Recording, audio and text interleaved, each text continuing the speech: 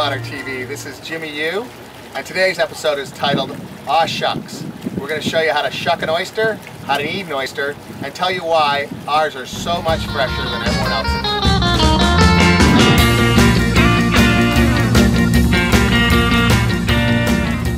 All right, now I'm going to take a little time here to show you how we shuck oysters and why our oysters and clams are so much better than anyone else. Number one, we buy all of our oysters and clams directly from the man that grows them. We've been buying them for 10 years. Uh, he ships them to us every week. He actually doesn't even harvest the oysters and clams until we place our order.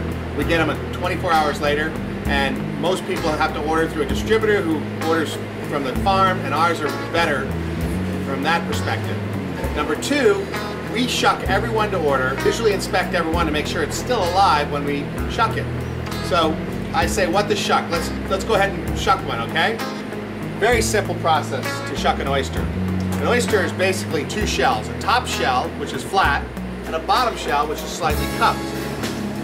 The oyster is held together by a hinge at the back and, and an adductor muscle, which holds it right in the middle. So the key is to pop the hinge, slide the knife in, cut the little muscle, without breaking the interior pocket of the oyster. Call that a scrambled oyster or a scrambled egg, which the beauty of an oyster is it's intact when you eat it. So let me go ahead and show you how we pop this oyster. What we do is we use a little towel here to uh, protect our hand. If you, if you shuck correctly, it's not dangerous, but beginners tend to apply too much pressure, and if the knife slips, it might go into their hand. So anyway, the, the hinge is right here. You just put your hand you, you pop that hinge. Once that hinge is popped, then you can slide the knife in and pop that muscle. Look at that oyster. Isn't that beautiful? This one's grown by Glenn Schreiber at the Schreiber Shellfish Farm up in outside of Shelton, Washington. Next thing you do is you slide your knife in from the front and you cut the adductor muscle from the bottom. You've already cut it from the top, so uh, you've left the, the, the pocket of the oyster intact. This little rim on the outside we call the mantle, and the thing's ready to eat now. Boy, that's look at how good that looks. I'm gonna put that right here on ice. All right, enough about what I think about oysters. I'm gonna introduce you to Mark, our master oyster shucker.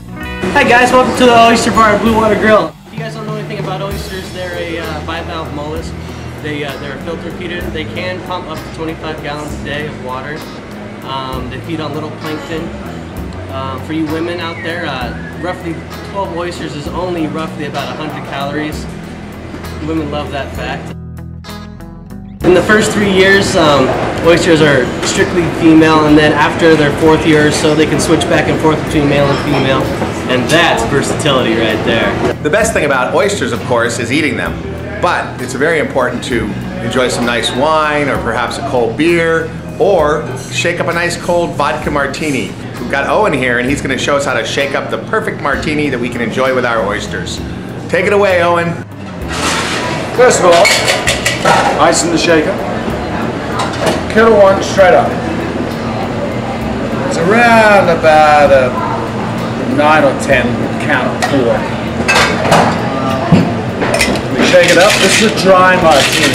Otherwise, you use a dry but it a little wet. Shake it up until it gets. You see the ice on the outside. A nice chilled martini glass. Pour it in, trapping the ice, and this is called a martini up.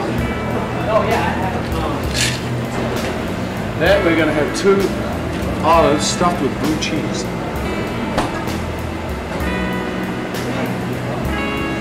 With a spike, put that on the side. There you are, sir, your Ketel One martini, shaken, not stirred, two olives, stuffed with blue cheese. Enjoy. A thing of beauty. Thank you, sir. No wonder I love this job.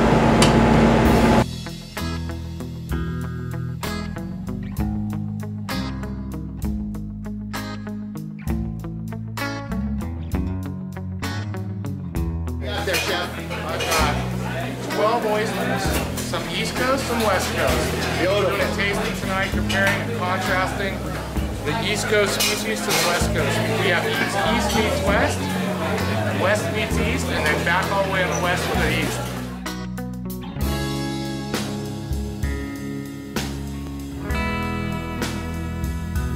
So tonight we're going to be looking at uh, six varieties of oysters. Right here we have our first oyster that's up. It's the classic oyster. It's from Blue Point, Long Island. It's the favorite oyster of people from the East Coast, and they barely even look at anything else. It's got a much thicker shell, it is beach grown, and it's going to have um, a very classic East Coast flavor. Very, very briny. Uh, not quite as briny as some of the Virginia oysters that are over here. Next up, we have a Virginica oyster, which is actually the same species as the Blue Point, but these are actually farm raised in uh, Washington State.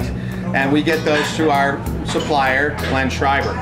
Um, that's going to be a little bit creamier than a normal oyster from the, the East Coast, but still going to exhibit the East Coast qualities.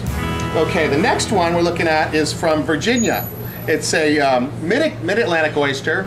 It's going to be very salty, and it's going to have, uh, again, your classic Blue Point taste profile. It is an estuarial uh, oyster, so it's going to have a little bit of that fruitiness to it. The next, next item are, these are from Long Island Sound, actually grown wild on the Connecticut shore. You can see the pretty little edge here. It's kind of got the flutes for support, so it probably was grown in some fairly uh, rough waters. Uh, they're going to have a, let me see here, firm texture and salty meat.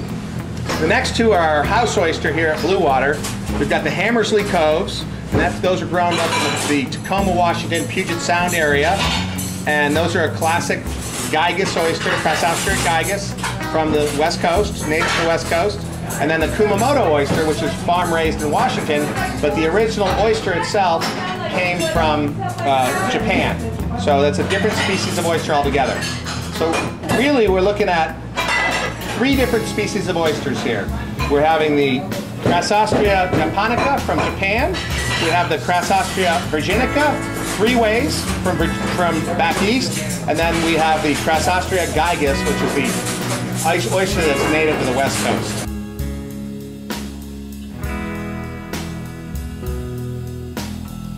So, are they good? Do you like them? Fabulous. What's your- I like the first one best. Everything has a specific flavor, and of course it's dependent on the water that it's that's grown in. So that is a very delicate difference, and each each one has its own particular flavor. It's really very subtle, very nice. Well, that's it for this episode of Bluewater TV. Aye, aye, and goodbye.